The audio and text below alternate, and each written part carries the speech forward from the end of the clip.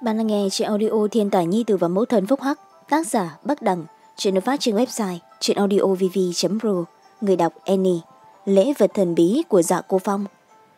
Trong đại sảnh của Yến Khách, tân khách tề tụ, phần lớn đều là những gương mặt quen thuộc ở Thánh Đảo đêm qua cũng đã ra mắt. Vân khề tới, ở giữa những tân khách dâng lên một cơn lốc nho nhỏ, chính là những nhân vật có uy tín danh tự. Dối rít xuống lại ở đây đón chào, nàng là hy vọng duy nhất của các cao nhân lánh đời bọn họ, đương nhiên là phải có đái ngộ đặc biệt rồi. Cho dù là đạo chủ của huyễn giả tinh hải cũng không thể nào có được đối xử hậu đái như vậy. Ấy long phu nhân dọc đường vất vả hay mau mở lên ghế ngồi trên.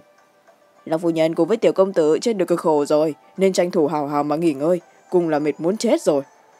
Long phu nhân sắc mặt thoạt nhìn có điểm không được tốt. Tốt nhất là uống một chút tổ yến này để bồi bổ thân thể. Long phu nhân hôm nay ăn mặc cũng có chút đơn bạc đó. Long phu nhân một đường đi tới, thanh âm thầm hỏi lần lượt mà tới. Vân khê tùy ý cười cười, coi như ứng phó. Dạ hàn tinh ở bên cạnh nhìn thấy cũng phải choáng váng. Đây là tình huống gì? Nghĩ tại thời điểm hắn và gia gia cùng đi nghênh đón các cao nhân lánh đời, mỗi người trong bọn họ đều là nghiêm mặt, đều là vẻ mặt cao cao tại thượng. Làm sao có thể cho hắn sắc mặt hòa nhã được? Hiện tại vân khê vừa mới xuất hiện, cả đám dường như cũng thay đổi một lượt. Ân cần hỏi han so với bà vũ của hắn còn muốn làm bà tám hơn thực sự làm cho người ta mở rộng tầm mắt rồi. Các cao nhân lánh đời các người đều là bị dở hơi hết rồi. Đáy mắt của dạ hàn tinh không ngừng tỏa ra những chấm nhỏ mờ mịt lại càng thêm mờ mịt. Sư phụ! Trong lồng ngực thanh âm ngọt ngào của vân tiền mặc vang lên dạ hàn tinh lần nữa kinh ngạc tên tiểu tử này lúc nào đã bái một sư phụ? Đưa mắt nhìn lại lúc vừa nhìn thấy hắn lại lần nữa lầm vào trong khiếp sợ. Âu ly tiên sinh? Người này không phải chính là âu ly tiên sinh đại danh đình đình hay sao nhìn vân tiểu mặc từ trong ngực của mình chuyển đến trong ngực của âu ly dạ hàn tinh thực sự là thất tin. Luyện khí đại tông sư nổi tiếng của thiên hạ âu ly, tiên sinh, thực sự là thun một đệ tử nữa. Hơn nữa đệ tử này không phải ai khác, chính là nhi tử bạn tốt của hắn, vân tiểu mặc. Nghĩ đến gia gia của hắn từng không tiếc tiêu số tiền lớn, nên muốn mời âu ly tiên sinh đến huyết giả tinh hải, bởi vì bọn họ luyện chế pháp bảo, đáng tiếc đều bị cự tuyệt. Có thể thấy được tính tình của âu ly tiên sinh này có bao nhiêu lạnh nhạt và tùy tính cũng có vô số người từng là muốn bái làm môn hạ của âu ly tiên sinh nhưng đều bị vô tình cự tuyệt. Ai ngờ âu ly tiên sinh này lại thu một hài từ năm tuổi làm đồ đệ. Chuyện như vậy thực sự khiến cho người ta không thể tưởng tượng được. Âu ly tiên sinh ngài thực sự là thu tiểu mặc làm đồ đệ sao? Âu ly nhìn bảo bối đồ nhi nhà mình thần sắc phá lệ ôn hòa. Đến khi ngẩng đầu lên vẻ ôn hòa kia liền biến mất hơn phân nửa lộ ra vẻ mặt có chút xả cách. Không tệ tiểu mặc có thiên phú luyện khí trăm năm ngàn năm khó gặp. Lão phu có thể thu được một đồ nhi như vậy, chính là phúc khí của lão phu. Giả hàn tinh mặt ngoài bất động thành sắc, vậy nhưng bên trong cũng sắp bị chấn động muốn ngất đi. Tiểu mặc này lại có thiên phú về luyện khí, hơn nữa thiên phú này còn không phải là thiên phú tầm thường, mà là trăm năm ngàn năm khó gặp. Thì già âu ly tiên sinh là người ta cũng không phải là không thu đồ đệ, mà là không gặp được đồ đệ có thiên phú dị bẩm mà thôi. Hắn không nhịn được lắc đầu thở dài cả nhà người này quả nhiên đều là yêu nghiệt. Một người võ nghệ cao cường có thể nói là cao thủ đứng đầu ngạo thiên đại lục. Một người là thiên tài luyện đan có thể luyện chế ra đan dược chỉ tồn tại trong truyền thuyết vô tiền khoáng hậu. Mà người còn lại là luyện khí sư có thiên phú dị bẩm chính là thiên tài luyện khí sư tương lai. Phong cách toàn gia như vậy không phải là yêu nghiệt thì là gì? Long phu nhân người cùng với lòng huỳnh lúc nào có cái nữa vậy? Hắn bỗng nhiên quay đầu lại hỏi. Có cái nữa? Là cái gì nữa vân khê vẻ mặt khó hiểu. Ừ, chẳng lẽ các người không có ý định sinh một nữ nhi sao? Dạ hẳn tình nói. Ta cùng với thiên tuyệt cũng còn không có vội đâu. Người gấp gáp cái gì? Vân khê tiếp tục không giải thích được mà nhìn hắn. Dạ hẳn tình nửa thật nửa giả nói. Các người nếu như sinh nữ nhi nhớ nhất định phải đem gả nàng cho con ta đấy. Chuyện này ta với người ước định trước rồi người ngàn vạn lần không thể thất ước được. Vân khê kinh ngạc. Ừ con của ngươi? Dạ, giả hàn tinh của người được đấy. Vô thành vô tức đã có nhi tử rồi. Xung quanh vốn không có ít người vây quanh mẫu tử vân khê. Mọi người nghe thấy lập tức bạo phát như vậy đều là rối rít rối dài cây cổ thám thính. Ai cũng biết dạ hàn tinh là tôn nhi của đảo chủ huyễn dạ tinh hải. Nếu hắn có nhi tử thì đó không phải là tin tức lớn quá hay sao? Khuôn mặt tuấn mỹ của dạ hàn tinh khẽ phiếm hồng tức giận trợn mắt nhìn nàng một cái. Ừ, đừng có mà nói bừa. Con của ta còn đang trong bụng của vợ tương lai ta ừ, thế vợ tương lai của người đang ở đâu? Nàng còn đang ở trong bụng trưởng mẫu tương lai. Ế dừng lại. Vân khê không khách khí vứt cho hắn một cái liếc mắt khinh thường. Người này cùng với đại ca của hắn tính tình xê xích lên một trời một vực. Muội muội là của ta ai cũng không cho cùng với ta đón muội muội đâu. Vân tiệm mặc nghe hai người đối thoại đột nhiên cường thế xen vào một câu. Nhìn đều bộ sáng khí mười phần của hắn tương lai nhất định là một tiểu ca ca yêu muội như mạng vân khê hé miệng cười trộm trên khuôn mặt tuyệt sắc hiếm thấy lên một dạng mây đỏ mà đề tài này là một khi khơi lên khiến cho mọi người bắt đầu đánh chú ý vào nữ nhi của nàng. Ai biết đến tối cùng nàng còn có thể mang thai hay không? Sinh ra có phải là nữ nhi hay không? Là tiểu ngoan ngoan hay sao? Lão phu thực sự giống như là nghe được thâm anh của tiểu ngoan ngoan vậy. Từ chỗ chủ vị xa xa truyền tới một giọng nói hùng hồn có lực. Đám người vây xem từ từ tách ra tầm nhìn lập tức trở nên trống trải một lão giả từ trên chỗ chủ vị đứng dậy đi về phía bọn họ. Trong nháy mắt đã tới trong tầm mắt của vân khê. Đôi đồng tử của vân khê mở lớn lời nói biểu hãn bật thốt lên. Phong lão đầu, làm sao ngươi lại chạy tới đây? Chẳng lẽ gần đây ngươi đều ở đây ấp trứng sao? Hiện trường đột nhiên hoàn toàn yên lặng, mơ hồ có thể nghe thấy được tiếng bước chân của dạ cô phong. Đối với người không biết nội tình mà nói những lời này thì thực sự là quá mức dọa người. Cái gì gọi là gần đây ở chỗ này ấp trứng? Đường đường là đảo chủ của Huyễn gia tinh hải khi nào mà học gà mái nhà người ta đi ấp trứng. Hơn nữa nàng còn há miệng gọi đảo chủ nhà người ta là phong lão đầu. Đây quả thực là vũ nhục lớn nhất đối với lão, lão đảo chủ. Tùy nói nàng có thập đại thần khí là một người quan trọng người duy nhất có thể khai mở nó nhưng mà nàng cũng không thể nào không kiêng kỵ mà đắc tội đảo chủ Huyễn gia tinh hải được đệ nhất cao thủ của tam đại thánh địa này mọi người cô hồ cũng có thể đoán ra giả cô phong sẽ tức giận như thế nào đến dạy dỗ cho nữ tử không giữ mồm giữ miệng như thế. Vậy nhưng bọn họ đều đã nghĩ sai rồi bởi vì một khắc sau bọn họ thấy được một màn lại càng thêm dọa người. Ấy thực sự là ngươi ai ấp trứng không có thuận lời có lẽ cả đời này lão phu cũng không thể nào hoàn thành nguyện vọng này nữa. Nguyện vọng này hay là để lại cho đời sau của lão phu đi hoành hành đi. Dạ hàn tình lúc này miệng co rút dưới đáy lòng âm thầm kêu khổ Ôi không nên đâu giá giá. Nhiệm vụ vinh quang như vậy vẫn là bản thân ngài tự làm đi.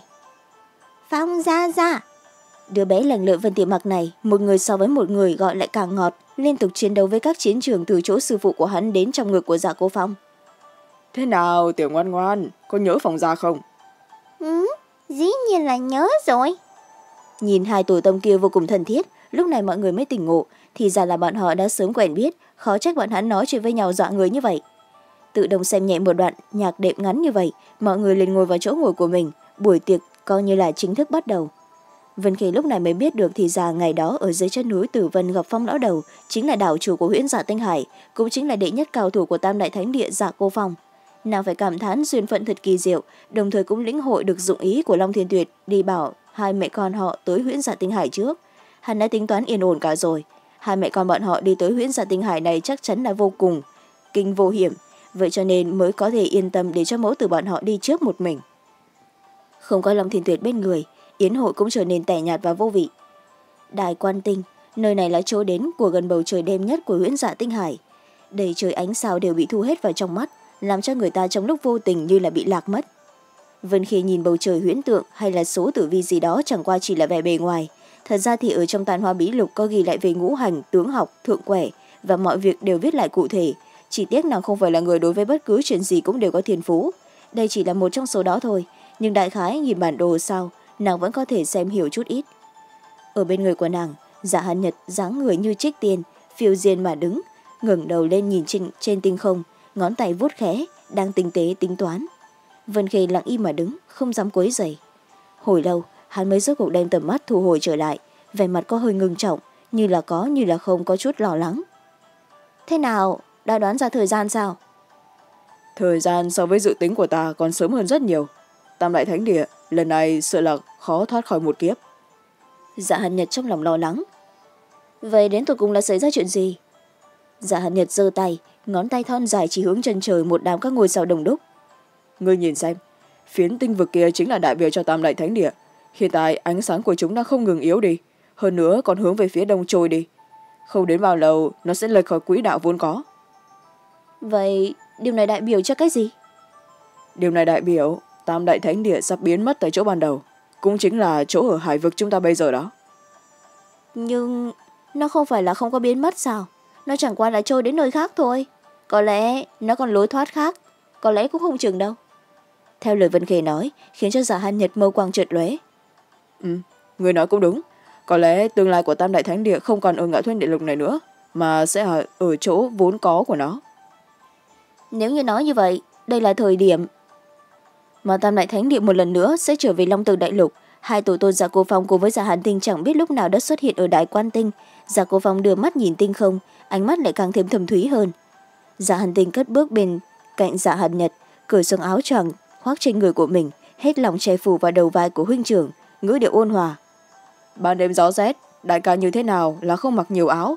Người bên cạnh đến tôi cùng là chăm sóc người như thế nào. Khi trở lại ta phải hào hảo dạy dỗ lại bọn họ một lần mới được.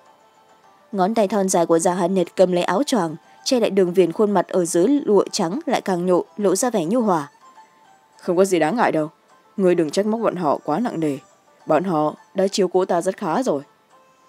Hai huynh đệ nhìn lẫn nhau có ngoại tình cảm biệt ở trong đó truyền đến vân khê cùng với những người đứng xem đều cảm thấy sâu sắc.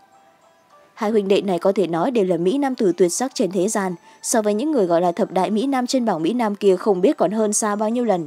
Nguyên nhân là bởi vì bọn họ chưa từng xuất hiện, vậy cho nên không có tên trên bảng xếp hạng. Nhìn hai huynh đệ đứng cùng một chỗ, một tuấn mỹ xuất trần, một tiêu sái không kiềm chế được, thực sự rất đẹp mắt. Nếu là có thêm một dạ tiểu đệ thiên chân khả ái, thì hình ảnh kia lại càng thêm đẹp đẽ hơn. Mà phải rồi, hàn nguyệt đâu? Tại sao ta không có thấy hắn? Vân khê nói. Phu nhân biết hàn nguyệt sao? Dạ hàn nhật có chút kinh ngạc. Vân khê thiển nhợt cười nói. Thời gian ở ngạo thiên quốc ta đã có từng gặp qua. Lúc đó hắn ở cùng với dạ thập thất dạ sứ giả bởi vì một ít chuyện vậy cho nên có chút giao thiệp. Lông mi xinh đẹp của dạ hàn nhật khẽ nhíu sau đó liền từ từ giãn ra. Hắn thử dò xét. Vậy chẳng lẽ người chính là vị ân nhân đã luyện chế cho kiều truyền thái cực đan sao vân khê sờ sờ lỗ mũi từ chối cho ý kiến. Ban đầu thời điểm dạ hàn tinh lấy thuốc đã nhanh đã thành toán bạc vậy cho nên là cũng không tiện tranh công. Đại ca người đoán đúng rồi chính là nàng ấy đó. Nàng ấy chính là luyện đan sư duy nhất của ngạo thiên đại lục có thể luyện chế ra kiều truyền thái cực đan trong truyền thuyết. Dạ hàn tinh thay nàng trả lời. Dạ hàn nhật một lần nữa nhìn kỹ vân khê đôi con người lóng lánh so sánh với bầu trời đêm này là còn sao sáng lạn hơn. Hắn khó có thể hình dung tâm tình bây giờ của mình so với chuyện biết được nàng là phượng tinh thì chân tướng chuyện này lại càng làm cho hắn kích động không thôi. Ngay cả sư phụ của ta cũng không có cách nào luyện chế ra kiểu chuyển thái cực đan nhưng phu nhân, ngươi lại có thể luyện chế. Chuyện này thực sự là khó có thể tưởng tượng được. Hắn tự trong đáy lòng tán thưởng. Đại ca của ta từ nhỏ lên ham thích luyện đan. Khi có thiếu niên, đã bái làm môn hạ của mộ lão, học tập kỹ thuật luyện đan. Có một lần cùng với đồ đệ của ứng thừa ly tỷ thí luyện đan, ai ngờ đối phương lại dùng dị hỏa công kích đại ca. Đại ca của ta vì vậy mà đã bị dị hỏa thiêu cháy thân thể lâm vào trong hôn mê. Nếu không phải là ăn vào cừu truyền thái cực đan thì đại ca của ta lúc này chỉ sợ vẫn còn nằm trên quan tài tuyết chậm chạp không cách nào tỉnh lại. Dạ hàn tinh vừa trình bày sự thật vừa dùng ánh mắt cực kỳ ân cần nhìn sư trưởng làm cho người nào cũng có thể cảm thấy được sự yêu mến của hắn đối với huynh trưởng. Nếu như người đã ăn vào kiều truyền thái cực đan nhưng tại sao thân thể của người vẫn suy yếu như vậy? Vân khê không chút nào nghi ngờ kéo tay của hắn dò rét mạch đập nhíu mì trên người của người vẫn là có một số bộ phận thần kinh bị hao tổn, không thể khôi phục lại được. Tinh quang dưới mắt của nàng khẽ vụt sáng, ánh mắt sắc bén nhìn chăm chú lên chiếc khăn mặt của hắn. Vậy, nếu như ta đoán không có sai, thì mặt của người hẳn là không còn khôi phục hoàn toàn. Làm sao không biết? Khuôn mặt của đại ca ta không được ra gió. Một khi có gió lạnh xâm lấn, thì mặt của đại ca sẽ sinh ra rất nhiều điểm hồng, còn có thể dẫn phát ra rất nhiều chứng bệnh nữa vậy cho nên mỗi ngày hắn đều phải mang cái khăn che mặt như vậy. Dạ hàn tinh kích động nói hai mắt không ngừng sáng ngời như lần nữa thấy được hy vọng.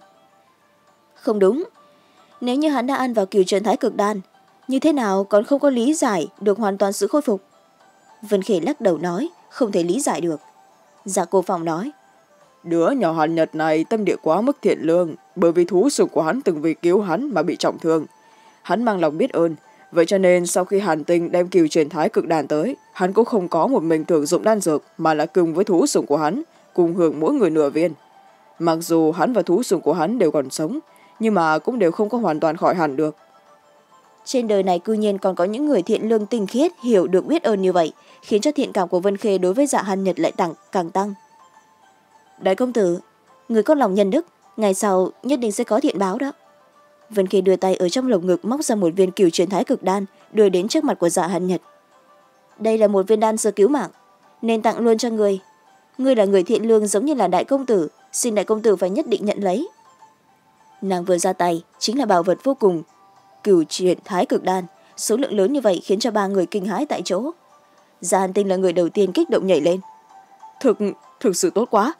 Đại ca của ta có một viên kiểu chuyển thái cực đan, thì thân thể có thể hoàn toàn khôi phục rồi long phu nhân không nghĩ tới người cũng có, có thời điểm khẳng khái như vậy. Thật là vượt ra ngoài dự liệu của ta. Nhớ ngày đó thời điểm hỏi ngươi để lấy đan dược người như vậy nhưng mà không thu ít bạc của ta. Ta đến bây giờ vẫn còn thiếu nợ ngươi mà. Quả nhiên vẫn là mị lực của soái ca lớn. Cứ như là không mất tiền mà vẫn có một viên cửu truyền thái cực đan. Dạ cô phong cũng cười híp mắt vuốt vuốt dầu mép cất cao giọng nói. Đích thực là hiếm có có thể làm cho vân nương tử cam tâm tình nguyện lấy ra bảo khố đem tặng đi. Thực sự là chuyện trước này chưa từng có. Vân khi tức giận liếc hai tổ tôn một cái. Chẳng lẽ hình tượng của nàng trong suy nghĩ của bọn hắn thực sự là rất keo kiệt sao? Khó có được nàng hào phóng một lần tặng đan dược cho người ta. Có cần thiết cười đến khoa trường thế không? Ngược lại giả hàn nhật lại lộ ra vẻ khá lệ an tính. Hai mắt của hắn ngó chừng kiều truyền thái cực đan trong tay của nàng, cũng không lập tức nhận lấy. Sóng mắt của hắn không ngừng lưu chuyển mơ hồ có thể thấy được vẻ kích động song càng nhiều hơn là sự cảm kích. Tầm mắt của hắn từ đan dược chuyển hướng đến mặt của vân khê ánh mắt nhu hòa vượt qua từng lụa mỏng nhìn vào mặt nàng. Đa tạ phu nhân. Ân tình hôm nay phu nhân tặng đạn thì ngày sau giả hàn nhật này nhất định là xả thần báo đáp. Từ ngữ cùng với cách trình bày không có quá nhiều sự giả dối hắn nhận lấy đan dược từ trong tay của vân khê cẩn thận thu hồi tay phải đặt tại nơi cất giấu ý cười nơi đáy mắt lại càng thêm sâu sắc. Này vân nương tử khó được người hào phóng như vậy. Tặng đan cho tôn nhi của lão phu. Lão phu cũng không thể quá keo kiệt với người. Lão phu quyết định đem vật mà lão phu chân quý nhất biếu tặng luôn cho người. Người nhất định là không thể chối từ lão phu. Giả cô phong phóng khoáng cười nói. Vân khê dương lên đuôi lông mày. Thân là đạo chủ của huyễn giả tinh hải. Hắn vật chân quý nhất nhất định là giá trị liên thành rồi. Thậm chí là một bảo vật vô giá. Nàng rất mong đợi. Ừ vậy thì ta dĩ nhiên sẽ không cùng với đào chủ khách khí đâu. Hãy nhanh lên một chút lấy ra đi xem là cái gì. Nàng thực sự đúng là không khách khí trực tiếp lên tiếng thúc giục. Chờ một chút. Giả công phong xoay người sang chỗ khác làm bộ chờ ở trên người chọn chọn lại cẩn thận cầm lấy tháo gỡ nút thắt khiến cho hai huynh đệ dạ hàn nhật cùng với dạ hàn tinh rất hiếu kỳ tin cũng là bị hắn làm cho treo lên. Dạ dạ rốt cuộc là cái bảo bối gì vậy? Để cho chúng ta nhìn một cái.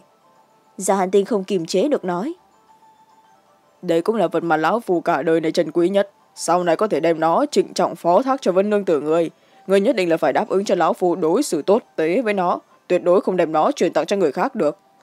Giả cô phòng vẫn như cũ không xoay người đem bảo bối che ở trước ngực tiếp tục gỡ gỡ cái nút. Yên tâm chỉ cần là bảo bối thì ta bình thường cũng sẽ không chuyển tặng cho người khác đâu trừ phi bảo bối này của người căn bản không có đáng tiền. Vân khê tùy tiện nói. Vậy chứ ngươi phải thề nữa người cả đời này phải quý trọng nó, đối xử tử tế với nó, vĩnh viễn là sẽ không đem nó chuyển tặng đi. Gia cô phong cố làm ra vẻ huyền bí, cùng với vân khê dây dưa. Vân khê bị chuẩn bị như vậy của hắn lại càng đối với bảo bối này hiếu kỳ, lòng hiếu kỳ càng ngày càng nặng rồi. Nghĩ thầm, rốt cuộc là bảo bối gì vậy? Làm cho hắn cẩn thận như vậy, không còn là bắt nàng thể nữa. Mà phải rồi cũng được, chẳng qua chỉ là một bảo vật, cùng lắm nếu không thích sẽ đem nó nhét vào trong chiếc nhẫn chữ vật. Dù sao cũng là chiếm không biết bao nhiêu chỗ nàng giơ lên ba ngón tay phải chỉ lên trời nói. Ừ ta vân khê xin thề cuộc đời này cũng sẽ quý trọng nó đối xử tử tế với nó vĩnh viễn sẽ không đem nó chuyển tặng đi. Chờ một chút ta còn muốn người đáp ứng không thể đem nó cất giấu ở trong chiếc nhẫn chữ vật bởi vì mỗi ngày nó cần hấp thu tinh hoa trên thiên địa nhật nguyệt nữa. Vân khê không nhịn được nói. Ừ, ừ, ừ, tốt tốt tốt ta đáp ứng. Tùy thân đeo lên sẽ không đem nó cất giấu ở trong chiếc nhẫn chữ vật. Thế là được rồi chứ ta nói người nhanh lên một chút đem đồ vật lấy ra. Đưa người đồ là còn có nét mặt như vậy thực sự là không chịu được ngươi. Lão phu tốt xấu gì cũng là đứng đầu một đảo. Cấp cho ta chút mặt mũi đi. Gia cô phong kỳ kèo chậm chạp cuối cùng cũng đem một túi vải đen ôm ôm trong trước ngực đưa đến trước mặt của vân khê lại là một phen trịnh trọng giận bảo. Thay cho lão phu phải hào hào mà chiếu cố cho nó. Nhất định là đừng có bạc nái nó đây sau một phen chua xót lầu lệ, Gia cô phong nhìn bảo bối của mình lưu luyến không rời. Ba người còn lại sắc mặt khác nhau, không hiểu là hắn gọi là bảo vật chân quý này rốt cuộc là cái gì. Trong lúc này đột nhiên vân khê hối hận không thôi, nàng làm sao lại mắc mưu hắn, tại sao lại đem một đồ vật vô bổ như vậy nhận lấy? Không sai, cái mà già cô phòng gọi là bảo vật không phải cái gì khác, đúng là thứ đi theo hắn mấy năm, chính là cái trứng lớn mà hắn nghĩ là hàng ngàn hàng vạn biện pháp cũng không có cách nào ấp nở được. Nó là đồ vô dụng tuyệt đối là đồ vô dụng. Cô không ai biết quả trứng khổng lồ này rốt cuộc là cái quái gì. Có lẽ nó thực sự là cất dấu bí mật động trời gì đó. Nhưng mà ngày ngày mang theo nó đi khắp mọi nơi còn phải tùy thân mà mang theo, không thể cất giấu vào trong chiếc nhẫn chữ vật, thì đây không phải là có chủ tâm đem phiền phức cho mình sao? Ai không có việc gì ngày ngày đem một quả trứng lớn bên hông bị rảnh à?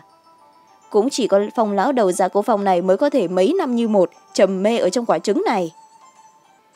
Đạo chủ ngài thực sự là quá khách khí rồi. Bảo bối như thế này lại đem tặng cho ta. Ta như thế nào có thể hồi báo được đây?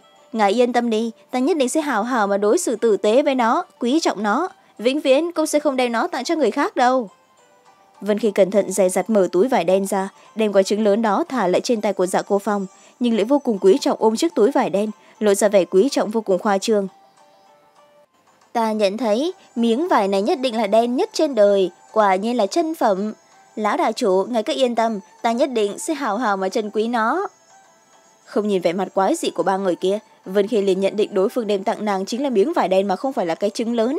Nàng mới không cần mỗi ngày mang thêm một vật vừa xấu vừa to to đùng như vậy. Có người nào biết được rốt cuộc nó có thể ấp nở được hay không? Từ năm nào tháng nào nó mới có thể ấp nở trứng?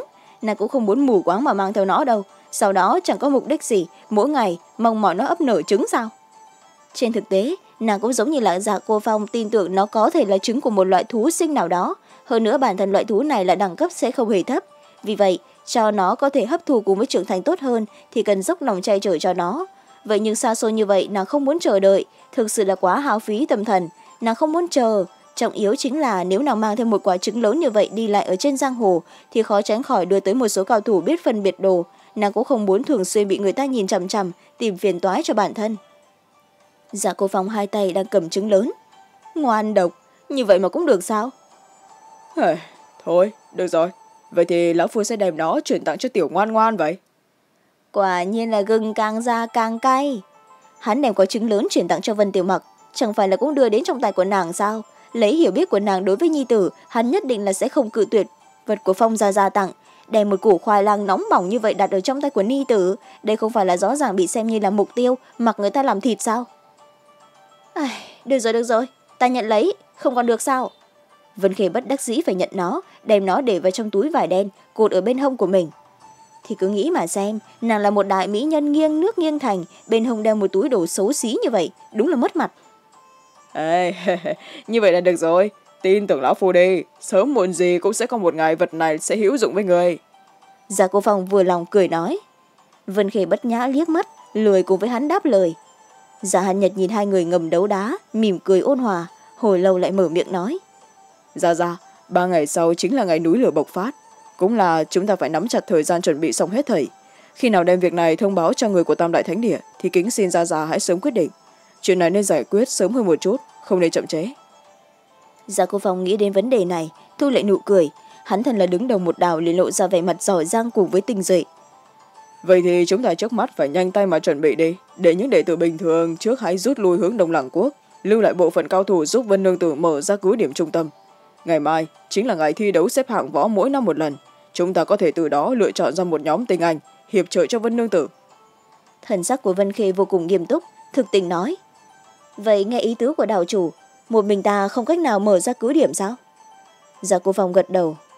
Phải cứ điểm trung tâm đã bị phá hủy làm cho hao tổn bình thường muốn mở ra nó, tất nhiên là không dễ. Ở bên ngoài cửa vào của cứ điểm này sẽ có gió lốc, khổng lồ tồn tại. Cho dù là huyền tôn cao thủ, cũng không cách nào xông phá được gió lốc đi tới lối vào. Vậy cho nên trên người của người có thần khí, có lẽ có thể ngăn cản được lực lượng của nó. Đến lúc đó là có đông đảo cao thủ của chúng ta giúp người đem gió lốc tạm thời chế trụ lại, giúp người thuận tiện tiến vào trong trung tâm của gió lốc, khởi động lực lượng của thần khí, mở ra cứ điểm trung tâm.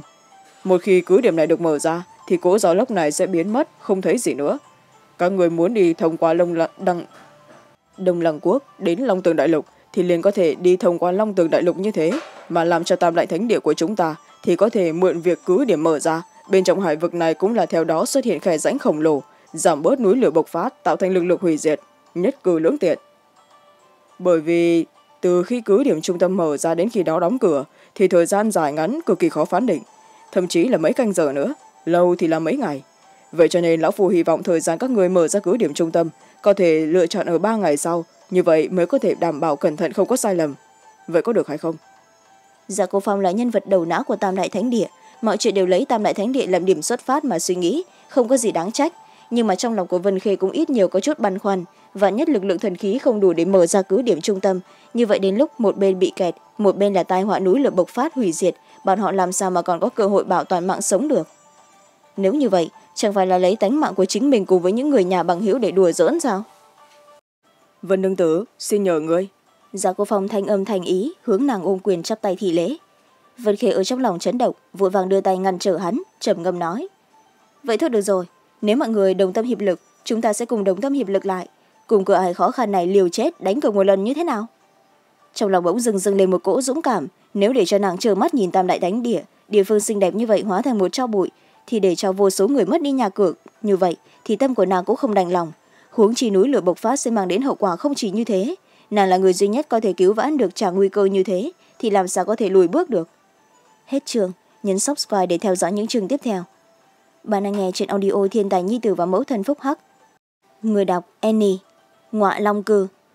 Cùng ba người tổ tôn ra cô phòng rồi rảnh rỗi nói chuyện một hồi, khi trở về phòng khách nghỉ ngơi, chàng cũng đã tới giữa trời huyễn giả tinh hải ban đêm rất đẹp. Đêm tối giống như là một tấm lưới lớn vô cùng vô tận, đem chăn đệm trải ra nằm dưới đất, nhìn bầu trời đầy sao lóng lánh như thủy tinh.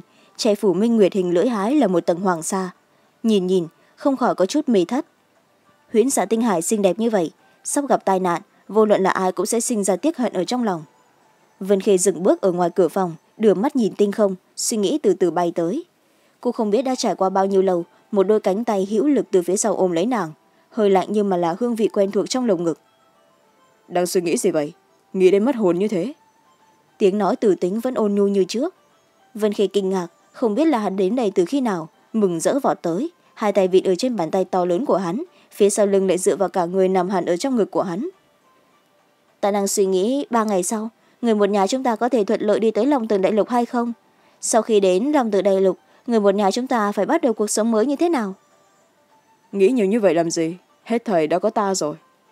Hơi thở ấm áp thổi nhẹ bên tai của nàng tâm thần của vân khê nhộn nhạo quay đầu chống lại con người rực rỡ trói lọi như sao của hắn. Nàng cười nhẹ. Chẳng tới khi nào vậy? Thiên thần đâu hết rồi? Mới vừa tới bọn thiên thần còn đang trên đường ngồi thuyền. Ta chờ không kịp nữa vậy cho nên trước là đợi đi tới tìm nàng. Lòng thiên tuyệt vùi đầu vào cổ của nàng hít sâu mùi thơm của cơ thể chỉ thuộc về nàng dần dần say mê. Vậy chuyện bên bạch sa đảo xử lý như thế nào ngày tốt đẹp như vậy chúng ta có phải nên nói một chút chuyện phong hòa tuyết nguyệt mà không phải nói những cái chuyện nhảm chán mất hứng này hay không? Lòng thiên tuyệt khẽ hôn xuống dưới đôi môi đỏ mọng của nàng nhếch miệng lại cúi đầu hôn mạnh hai cái rồi thở dài. Vẫn là nơi này vị ngon nhất sắc đẹp có thể ăn được. Đừng có hồ nháo nơi này chính là huyễn dạ tinh cung. Bắt gặp đáy mắt của hắn nảy lên hàm muốn nội tâm của vân khê nhảy mạnh một hồi. Lòng thiên tuyệt cong cong khóe môi hắn cắn lỗ tai của nàng. Vậy thì chúng ta về nhà mình liền có thể đi.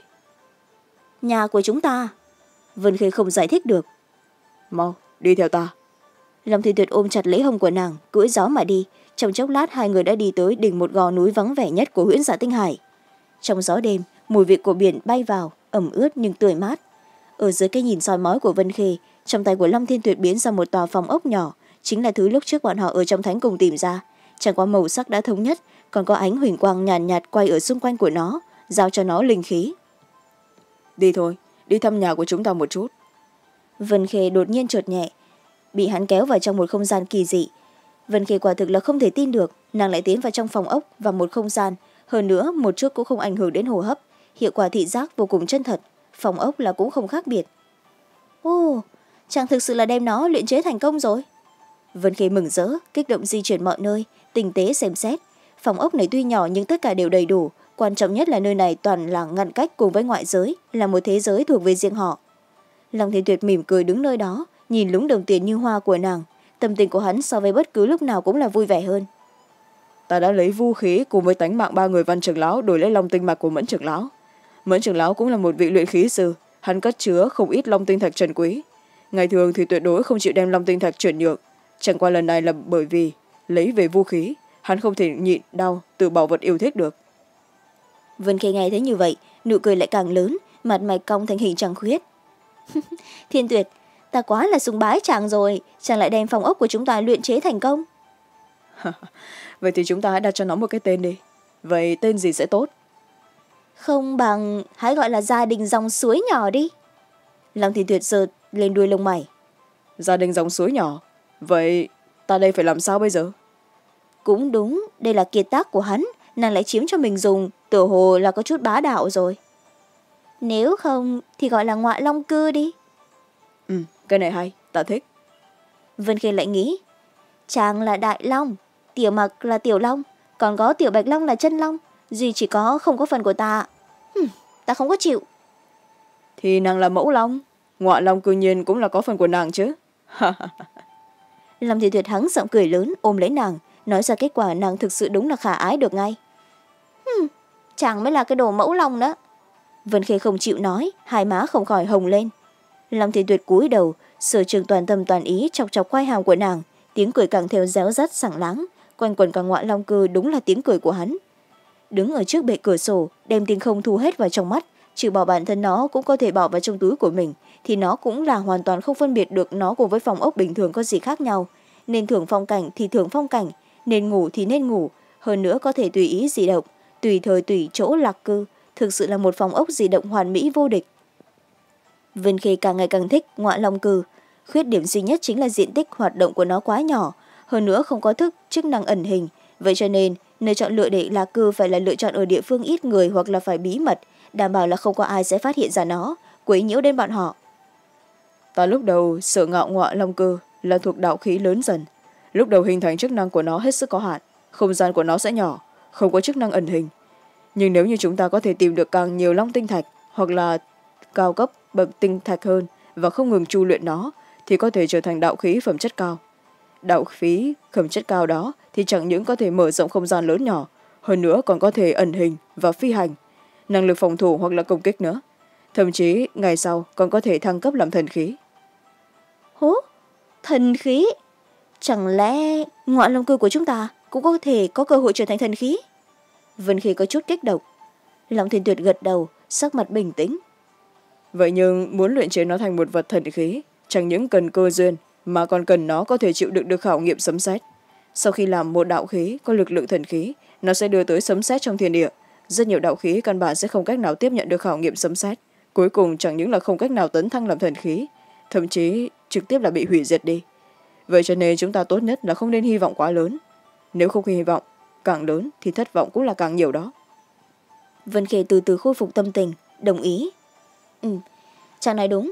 Loại chuyện nghịch thiên như vậy chúng ta đã hy vọng quá xa vời. Thôi cứ thuận theo tự nhiên. Như bây giờ cũng là rất tốt rồi. Ta cũng thỏa mãn về điều này. Lăng thị tuyệt mị hoặc cười một tiếng để sát vào bên tai nàng nói. Vậy thì chúng ta tối hôm nay trước hết hãy thử một chút cái giường mới ở ngoại long cư này như thế nào vân khê hò nhẹ mấy tiếng có chút giống như là bị sặc. Gò má hơi đỏ sóng mắt chuyển động. À, như vậy thì thử một chút đi cũng được.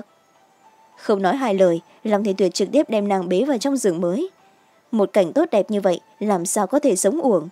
Hai người lại bắt đầu kế hoạch tạo người. Đối với cái nhiệm vụ đó cho tới bây giờ long thiên tuyệt cũng rất cần cù chăm chỉ cố gắng không biết mệt dưới chân núi ngẫu nhiên có một đệ tử của huyễn giả tinh hải đi tuần tra qua. Song ai cũng sẽ không nghĩ tới ở phía trên đỉnh núi lại có một động thiền khác.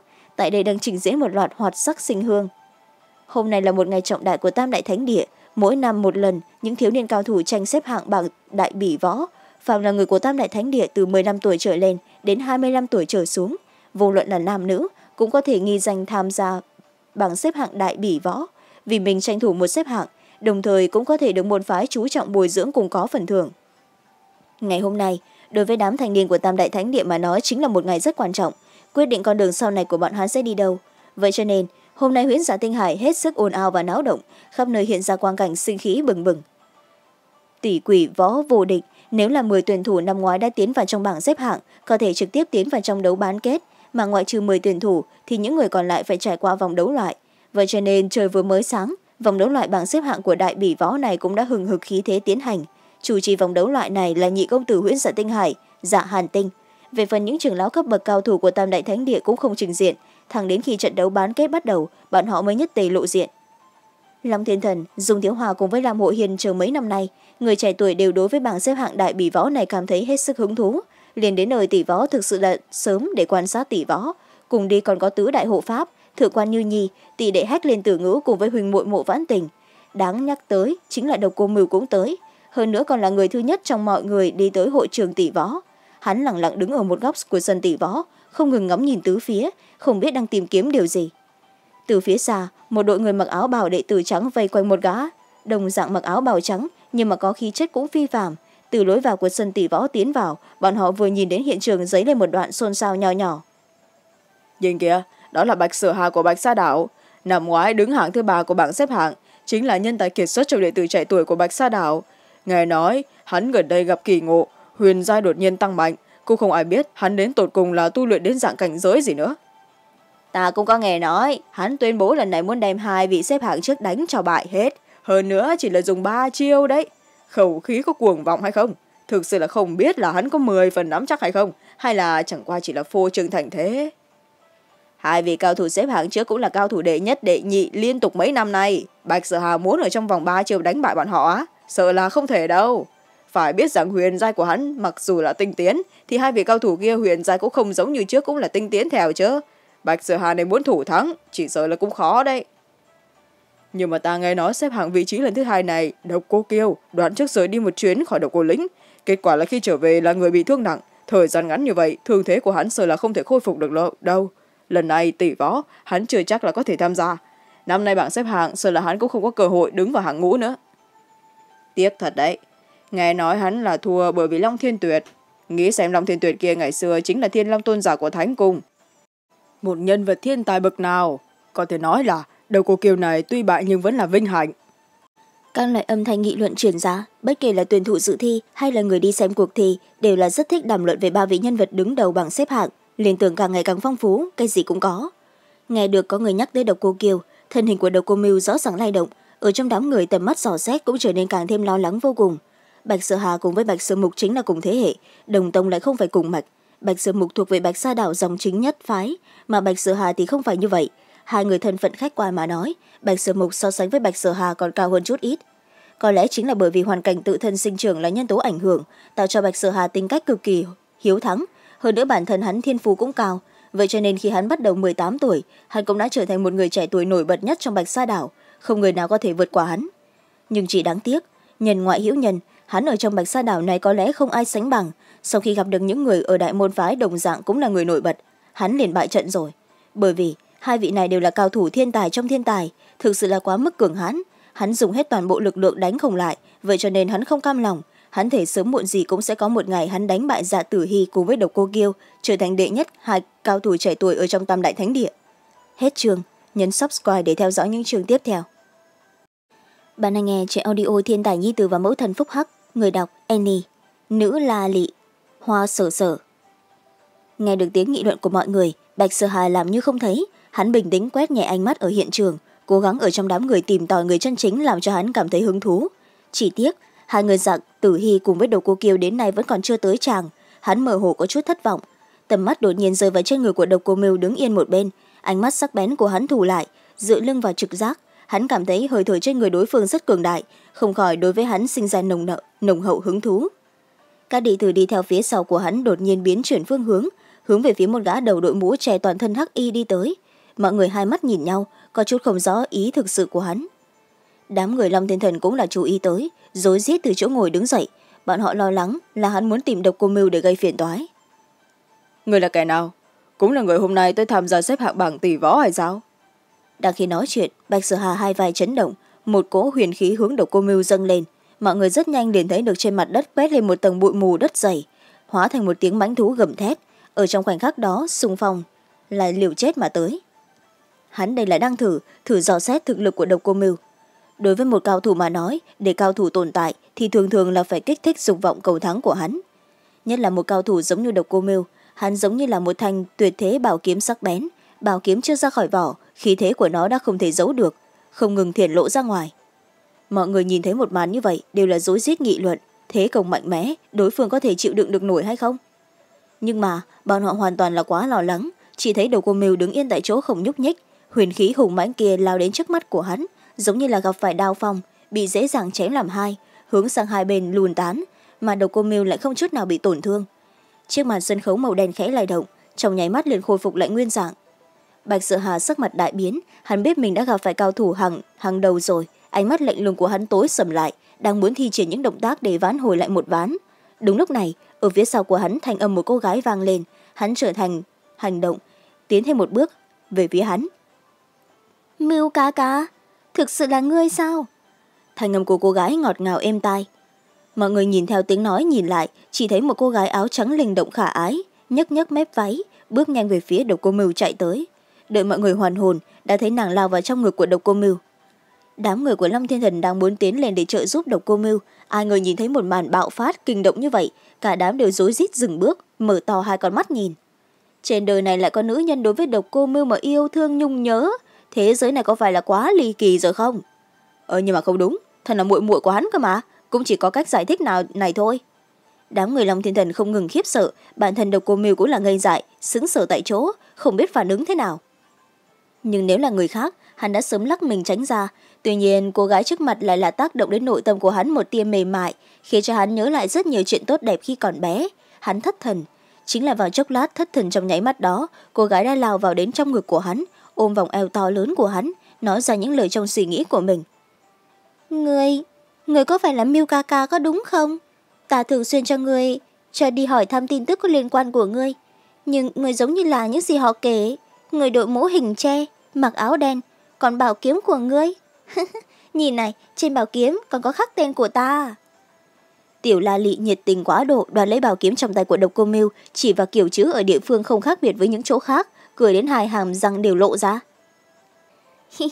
Mưu ca ca, ngươi thật xấu. Lâu như vậy cũng không có tới thăm sở sở. Một mình sở sở ở độc cô lính này, thật là buồn mực cũng không có người để khi dễ nữa.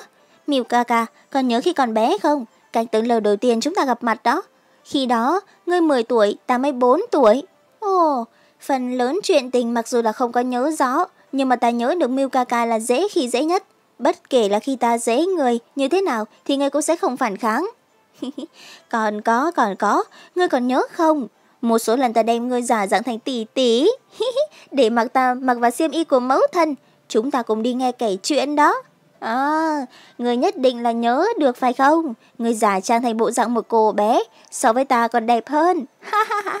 Tất cả mọi người đều rất thích người, đều là nhìn người đó.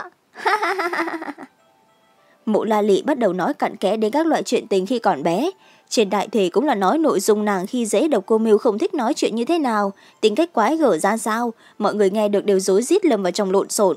Để rốt cuộc là tiểu nữ nhân từ nơi, nơi nào mà nhô ra, suy nghĩ của nàng thực sự là làm cho người ta có chút không dám khen tặng nhưng mà những chuyện còn con đó của độc cô mưu thì hoàn toàn là bị vạch chân ra ngoài rồi danh hiệu thiên hạ đệ nhất sát thủ trong thời gian ngắn hoàn toàn là bị đánh nát hóa thành vô hình rồi mà bản thân của độc cô mưu trực tiếp bị hóa đá ở bên trong. Vô số tia sét đánh trúng hắn. Hắn là sắp toàn thân nát bét cả ra rồi. Hey, thế nào miêu ca ca? Mấy năm nay người thế nào? Người đi đâu? Nghe bọn hắn nói người giết rất nhiều người. Tất cả mọi người xưng ngươi là thiên hạ đệ nhất sát thủ. Nghe thấy quả nhân uy phong đó nha. Người có thể mang theo ta đi cùng sông sáo giang hồ không? Người ta là cũng muốn đi chơi không muốn ở trong độc cô lính này chờ nữa hai thị nữ đi theo tiểu la lị đến rốt cuộc là không nhịn được tiến đến đem tiểu thư nhà mình từ trên thân của nam nhân kia kéo trở lại khuyên cản mãi. Tiểu thư phải thận trọng chứ. Tiểu thư à chúng ta phải từ từ nói chuyện không nên kích động đâu. Hoa sờ sờ khả ái chu cái miệng nhỏ nhắn hướng về phía hai thị nữ nói. Miêu ca ca cũng không phải là người ngoài. Ta cùng với hắn vô cùng thân thiết có gì là hệ trọng lòng bàn tay nhỏ nhắn của nàng vừa chuyển, còn người sáng ở trong hướng bạch sợ hà một bên mà chừng, cầm cao cao dơ lên, hướng về phía bạch sợ hà mắng bạch sợ hà, mới vừa rồi là người khi dễ mưu ca ca của ta có phải không người thực sự là âm hiểm đấy ỉ và nhiều người khi dễ ít người ta cho người biết, Mưu ca ca là ta che chở đấy. Trên đời này chỉ có một mình ta có thể khi dễ hắn thôi. Những người khác muốn khi dễ hắn thì trước tiên phải bước qua ta. Khuôn mặt nhỏ bé xinh đẹp của nàng bỗng dưng sáng lên, đáy mắt xẻ qua u lam u quang, tay phải của nàng tạo thành bí quyết liên hòa, trong không khí ẩn có gợn nước lam nhạt ngưng tụ. Chúng ta đi. Theo thanh âm ngọt ngào của nàng, một cột nước đem mấy đầu ngón tay của nàng vũ động từ từ trở nên to lớn, cuối cùng hóa thành một cột sóng lớn, hướng tới khuôn mặt của bạch sợ hà mà quét tới ồ là thủy ảo thuật trong đám người có người kinh lá ánh mắt của bạch sợ hà khẽ biến thật nhanh bay ngược lại kéo dài khoảng gần trăm thước đáng giận, tiểu yêu nữ, người đi chết đi. Giữa không trùng hắn rút ra bảo kiếm bền hông trong phút chốc chém vào trong cột sóng. Sóng lớn bị kiếm khí chém thành hai nửa, khí thế chớp nhoáng, xông thẳng tới trước mặt của hoa sở sở. Mọi người không khỏi thấy hoa sở sở đổ mồ hôi lạnh. Hoa sở sở cũng không kinh không hãi, tay phải biến hóa thủ thế, vẽ hình dáng một vòng tròn. Lúc này tình thế đã xảy ra chuyển biến, nguyên bản vốn rơi xuống dưới mặt đất, nhưng mà sóng nước lại lần nữa ngừng tụ, tạo thành một đạo nước xoáy. Hình thái của thủy là vô thường một khi ngừng tụ thành thế lại có thể phát huy ra uy lực vô cùng. Khi thế mãnh liệt mà đến đã bị nước xoáy cuồn cuộn nhất thời hóa thành vô hình. Bạch sự hà kinh ngạc, cảm thấy không ổn, đáng tiếc là đã muộn rồi.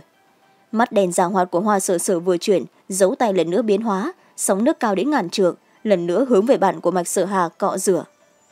Một lần nữa, bạch sở hà liều mạng chạy trốn, đáng tiếc là vẫn chậm một bước, từ đầu đến chân bị sóng nước cọ rửa biến thành ướt sũng. Chơi vui đấy, chơi vui! Cho người tắm rửa miễn phí. Người muốn làm thế nào để cảm ơn ta đây? Hoa sở sở bướng bỉnh vỗ tay ăn mừng, đã sớm nhìn bạch sở hà không vừa mắt. Bình thường không có cơ hội giáo huấn hắn cũng đành phải chịu. Hôm nay lại làm cho nàng bắt gặp hắn khi dễ mưu ca ca. Tội chết có thể miễn, nhưng mà tội sống khó có thể tha. Đầu cô mưu chân phải bước ra một bước, đang muốn tiến lên thay hoa sờ sờ ngăn cản một đạo kiếm khí của đối phương. Ai ngờ nàng lại dễ dàng hóa giải. Hắn khẽ kinh ngạc, không nghĩ tới mấy năm không gặp, tiểu công chúa bướng bỉnh khả ái ngày xưa hiện tại đã trở nên tuyệt vời như vậy lợi hại lợi hại. Không hồ là truyền nhân của gia tộc cổ xưa sinh ra liền có thiên phú dị bẩm. Nhưng mà nàng ấy không phải là người của tam đại thánh địa. Nếu không tỷ võ trên bảng xếp hạng thì nàng tất nhiên là cầm cờ đi trước rồi. Tiếng thở dài hâm mộ bên tai không dứt. Bạch sở hà bị khuất phục lớn như vậy làm sao có thể cam tâm? Hắn cả người chấn động huyền khí từ bên trong cơ thể mạnh mẽ tràn ra. Không tới một lát thời gian đã đem toàn bộ cao thấp thân mình hong khô. Hắn âm tàn ngó trừng hoa sở sở đang cười đến vui vẻ cười lạnh. Rất tốt ngươi cứ chờ đó cho ta. Đừng có tưởng rằng ngươi là tiểu công chúa của hoa gia là ta liền không dám đối phó với ngươi. Ta nói cho người biết núi cao hoàng đế ở xa hoa gia các ngươi ở trong long tường đại lục này có lẽ là đứng đầu. Thực lực thì rất giỏi nhưng mà ngươi đừng quên nơi này là ngạo thiên đại lục. Cho dù là ta giết người người của hoa gia các người cũng không có biện pháp tìm ta báo thù đâu. Cứ cẩn thận cho ta ta tuyệt đối sẽ không bỏ qua người đâu. Ừ, tới thì tới đi ta mới không sợ người đó khuôn mặt khả ái của hoa sờ sờ hướng về phía hắn giả làm cái mặt quỷ lè lưới Blê, không ngại nói cho người biết năm nay ta được các trưởng lão chấp nhận tán thành rồi cho phép ta tham gia xếp hạng bảng tỷ võ. Người còn vọng tưởng đoạt được đầu, đầu bảng quả thực là si tâm vọng tưởng. Cứ chờ mà xem nhìn ta làm sao mà lên đại hội tỷ võ này đánh bại được ngươi. Cái gì? Người mà cũng muốn tham gia luận võ? Bạch sở hà hai mắt bỗng dừng tối sầm hai hàng lông mày hóa chặt không biết đang có mưu kế gì. Hoa sở sở dùng cũng lười để ý tới hắn xoay người đến trước mặt của độc cô mưu cười ngọt ngào. Hi mưu ca ca người cứ yên tâm đi chỉ cần có ta ở đây ta sẽ không để cho bất luận kẻ nào xúc phạm tới người độc cô mưu đứng im tại chỗ ai cũng không thấy rõ vẻ mặt thực sự của hắn ở dưới mũi tre chỉ thấy một tay nắm chặt bảo kiếm tiết lộ tâm tình của hắn lúc này. Tiểu yêu nữ người cứ chờ đó cho ta. Thời điểm tỷ võ tốt nhất đừng để cho ta gặp ngươi. Nếu không ngươi cứ chờ mà xem bạch sự hà hung hăng bỏ lại một câu dẫn đám người đi theo hắn tức giận rời đi. Hừm, bại tướng dưới tay. Hoa sơ sơ nổi giận chu cái miệng nhỏ nhắn sau đó nhiệt tình lôi kéo đầu cô mưu ra khỏi lung tung này kia. Công phu nói chuyện làm cho người ta phải xấu hổ. Đầu cô mưu cơ hồ là từ đầu tới cuối không có nói một câu nào chỉ có một mình hoa sơ sơ nơi này líu díu nói cũng không xong. Ở bên cạnh nàng hai thị nữ đi theo đều xấu hổ cúi gấp thấp đầu hận không thể nào đánh cho bất tỉnh tiểu thư nhà mình đi trực tiếp đem nàng ấy tha luôn đi đám người long thiên thần không khỏi là đồng tình cùng với độc cô mưu một người không thích nói chuyện nhất trong tới một người lại suốt ngày lắm mồm nói chuyện, không biết là duyên phận hay là oan nghiệt nữa. Một trận tiếng chuông du dương truyền ra ngoài, giai đoạn vòng đấu loại đã kết thúc. Trên trận tỷ võ còn có khoảng năm mươi người, bắt đầu tiến hành top 10 trên bảng xếp hạng bài vị. Đúng lúc này, người đứng đầu của tam đại thánh địa rối rít xuất hiện ở trên trận tỷ võ. Đám tuyển thủ xếp hạng phía trước năm mươi vị tranh tài cũng là lục tục đi tới hai người vân khê và long thiên tuyệt cũng đi theo giả cô phong nhìn tới. Được thỉnh mời ngồi ở trên đài chủ tịch xem cuộc thi. Vân tiểu mặc thì bị âu ly mang theo đi trước để rèn luyện kiến thức cơ bản. Hàng xóm ngồi cùng hai vợ chồng long thiên tuyệt chính là hách liên tử phong, một đầu ba ngàn tóc bạc, ở dưới ánh mặt trời phá lệ bắt mắt, lại phối hợp với khuôn mặt lạnh lùng thâm thúy, khiến cho cả người giống như là một tòa điêu khắc lạnh băng. Bây giờ đặt ở trên đài chủ tịch, làm cho người ta cảm thấy trận trận lạnh lẽo. Vân khê thỉnh thoảng quay đầu nhìn hắn tầm mắt của hắn thủy chung vẫn dừng lại ở trên trung tâm trận đấu. Chẳng bao giờ nhìn về phía nàng một cái. Mặc dù như vậy vân khê vẫn có cảm giác được hắn cố ý né tránh. Trong tim của hắn nhất định là còn hận ý đối với nàng sao? Nàng nghĩ thầm. Khê nhi nhìn đi là đầu cô kiều thanh âm của long thiên tuyệt gọi đem lực chú ý của vân khê thay đổi hướng về sân tỷ võ. Hiện trường tổng cộng là có năm lôi đài đem năm mươi tên tuyển thủ trên làm năm tổ chia ra mỗi một tổ lấy một đệ nhất danh. Lại từ trong năm người tranh đoạt top năm bảng xếp hạng đầu cô kiều được an bài ở tổ số hai. Sát khí bén nhọn của hắn như cũ không giảm xuất thủ nhanh chóng lưu loát, không tới ba chiều đã làm cho đối thủ phải xuống lôi đài, lại thắng được một ván. Người giành được thắng tới, cửa của mỗi lôi đài, cần không ngừng đánh bại người khiêu chiến. Vậy cho nên khi đem tất cả mọi người đánh bại, hắn mới có thể coi là thắng được. Lôi đài lại mất, bắt đầu. Đầu cô kiều lợi dụng mạnh mẽ từ thái của người đứng đầu nhảy lên trên lôi đài, đến nay đã liên tiếp đánh bại bảy người. Nếu lại đánh bại thêm hai người nữa, hắn liền có thể trở thành người thắng cuộc trên lôi đài hắn cường thế cùng với biểu hiện xuất sắc đưa tới vô số chú ý cùng với tiếng vỗ tay. Vậy nhưng hắn lại chẳng thèm ngó tới. Tầm mắt vững vàng rơi vào trên góc ở trên thân ảnh màu đen cùng với màu hồng đang dựa vào nhau. Cảm xúc phức tạp quanh quẩn ở trong đáy mắt kéo đi không được. Đáng tiếc tốc độ của hắn là chậm không ít. Lòng thiện tuyệt nhìn độc cô kiều biểu hiện sâu kín thở dài rất có cảm giác tiếc hận. Vậy nhưng lấy thực lực của hắn bây giờ muốn vào một trong m người đứng đầu bảng xếp hạng vẫn là dư thừa mà vân khê nhìn biểu hiện của tuyển thủ năm lôi đài xung quanh khách quan bình luận. Đúng lúc này giữa sân vang lên một giọng nói ngọt ngào dễ nghe thanh âm của cô gái lần nữa đưa tới sự chú ý của vân khê. Mưu ca ca đến ta người nhất định là phải cổ vũ cho ta đấy. Nếu mà ta thua vậy nhất định là mưu ca ca không có cổ vũ cho ta. Hừm, đến lúc đó xem ta như thế nào mà tìm người tính sổ đây. Thân ảnh màu hồng của cô gái ở giữa những tuyển thủ màu trắng xanh đen phá lệ nổi bật. Vân khê hơi kinh ngạc nàng đến tổ cùng là kẻ nào? Tại sao lại ở cùng một nơi với độc cô mưu hơn nữa, nghe nàng ấy xưng hô với độc cô mưu tự như là có chút thân mật, hẳn là người quen mới đúng. Nhìn độc cô mưu dùng màu đen để che giấu tất cả tâm tình của hắn, vân khê nhợt nhạt còng khóe môi, rất hứng thú đối với sự phát triển của sự việc này. Hết chương, nhấn subscribe để theo dõi những chương tiếp theo.